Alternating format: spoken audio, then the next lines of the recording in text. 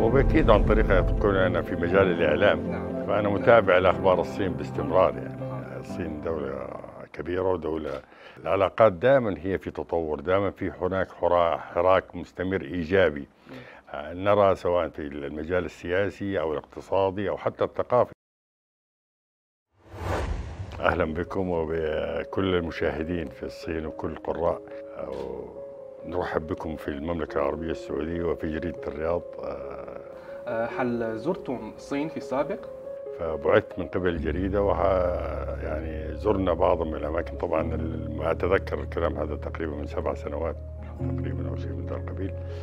آه، زرنا أكيد بكين وشنغهاي وزرنا أيضا هناك في مزارع الشاي أيضا في الصين. آه، كانت زيارة جميلة لمدة أعتقد أسبوع. ولكن أعطتني فكرة جميلة عن الصين و... وبأكيد عن طريق كون أنا في مجال الإعلام. نعم. فأنا متابع لأخبار الصين باستمرار يعني. الصين دولة كبيرة ودولة الواحد يريد أن يعرف عن الصين وعن حياة الناس هناك وطبيعة عملهم و...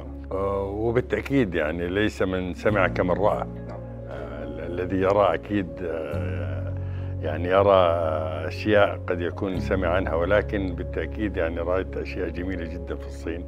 تجربة كانت ثرية جدا. آه، وبالتأكيد يعني لم أزر كل الصين ولكن زرت يعني بعض المعالم فيها قابلنا شخصيات آه، آه، سياسية واقتصادية في تلك الزيارة. كانت رحلة جميلة صراحة وعرفتنا عن على الصين عن قرب. نعم. كان لها يعني تجربة مثيرة جدا صراحة. فكثير من الناس في المجتمع يظنون أن آه، نجاح الصين في آه، توسيط بين آه، السعودية وإيران كنجاح المبادرة ال- ما يسمى بمبادرة الأمنية العالمية لا والصين أكيد يعني وجود الصين في هذا الاتفاق ورعاية الصين لهذا الاتفاق أكيد أعطته زخم كبير جدا أعطته مصداقية وموثوقية فبالتالي يعني وجود الصين كوسيط لحل الأزمات سواء هذه يعني عودة العلاقات السعودية الإيرانية أو غيرها من ال- الأزمات الدولية. أعتقد أن الصين جهة أو دولة موثوقة صح. بحجمها بحجمها بثقلها السياسي والاقتصادي والتنموي وبالتأكيد العالمي. بالتالي أنا أرى أنه يعني الدور الصيني دور يسعى إلى السلام في المنطقة. وهذا يعني نحتاج في في الظرف الدولي الذي نعيشه. نحتاج إلى يعني هذه المبادرات. العلاقات السعودية الإيرانية كانت عدت بمراحل يعني عديدة ولكن آه، الصين استطاعت بما لها من آه، حضور دولي وفاعل وموثوق أيضا هذا مهم جدا أنها تجمع بين المملكة وإيران وتضع أسس لعودة العلاقات بين البلدين برعاية صينية. هذا أكيد له تأثير جيد جدا على سمعة الصين اولا وعلى الاستقرار في منطقة المنطقة الخليج والمنطقة العربية. فبالتالي بالتالي أكيد الصين يعني لعبت دور مهم جدا يشكر لها. يعني إحنا نشكر الصين انها هي قامت بهذا الأمر كنا انها هي دولة تسعى إلى بث روح السلام والتنمية في المنطقة. ولكن آه، الصين يعني فعلا هي آه، يعني من خلال هذه المبادرات التي تقوم بها من أجل الأمن والسلام العالمي أثبتت إنها دولة يعني سياستها تعتمد على إرساء السلام، إرساء التنمية، تنمية الاقتصاد وتنمية الإنسان في مقام الأول.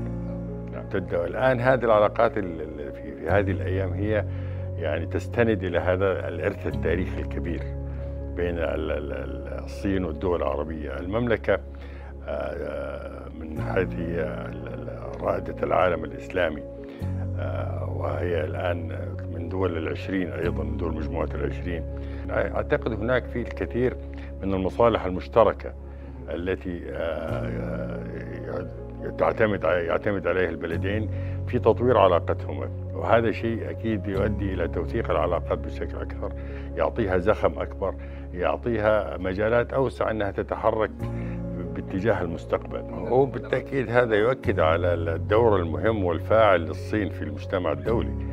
يعني ال- ال- الصين أحد الركائز الأساسية في في المجتمع الدولي من خلال سواء الأمن أو الاقتصاد أو التنمية، هذا يعني متوقع من دولة كالصين لا, لا تريد هي تريد السلام للعالم تحاول قدر الإمكان أنها تكون آه، يعني ركيزة أساسية للسلام والتنمية في العالم. وهذا بالتأكيد هذا شيء دور يشكر للصين. ويؤكد دور فخامة الرئيس الصيني في تحقيق السياسات والرؤى الصينيه ومحاولة بث روح التعاون بين دول مختلف دول العالم. طبعا نعرف أن العالم يمر بظروف الآن يعني دقيقة جدا وصعبة جدا. ولكن أعتقد الصين أيضا يمكن أن تلعب دورا مهما في إرساء قواعد السلام العالمي. أما بالنسبة لزيارتين فخامة الرئيس للسعودية ففي رأيكم؟ ماذا جعل وماذا شيء أو ما هي التقدمات جعلت فيها إلى ارتقاء بالمستوى بين البلدين؟ إنه رؤية 2030 ومبادره الحزام والطريق يعني متشابهتين متشابهتين كثيرا في اهدافها ما في رؤياهم من أجل مستقبل المجتمع الدولي ومستقبل المنطقة ومستقبل العلاقات السعودية الصينية. فبالتالي أكيد يعني العلاقات دائما هي في تطور دائما في هناك حراك مستمر إيجابي.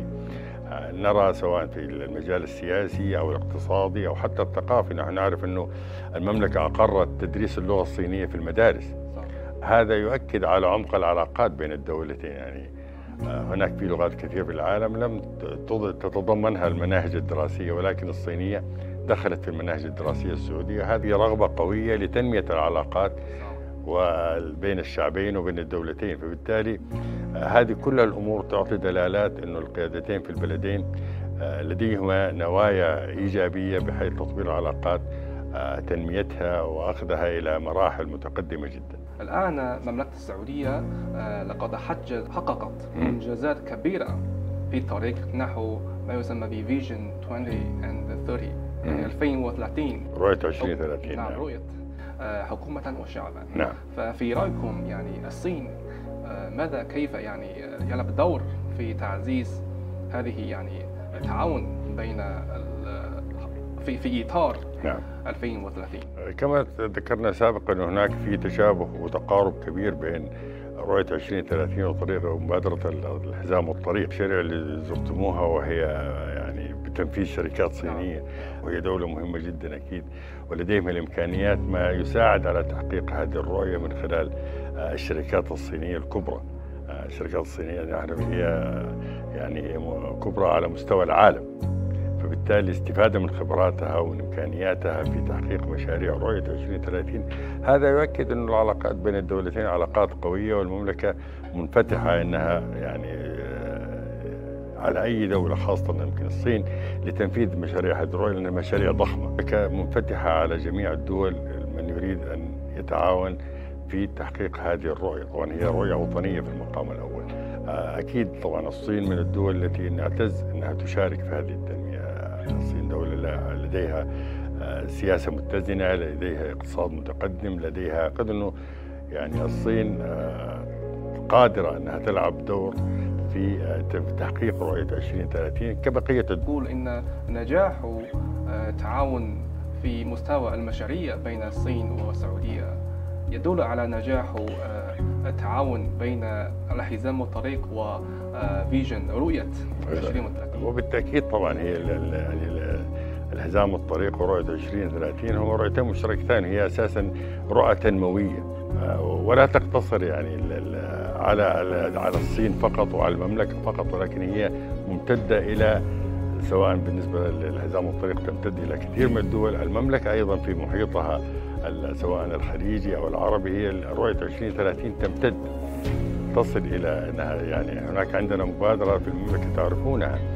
طالما أن الرؤى هذه موجودة بهذه الإيجابية وهذه الرغبة في التنمية ولا تقتصر التنمية على الدولة نفسها ولكن تمتد إلى دول أخرى. لا يكون هناك أنانية في التنمية. التنمية يجب تشمل كل أنحاء العالم المملكة والصين نموذجان جيدان للتنمية الدولية الشاملة.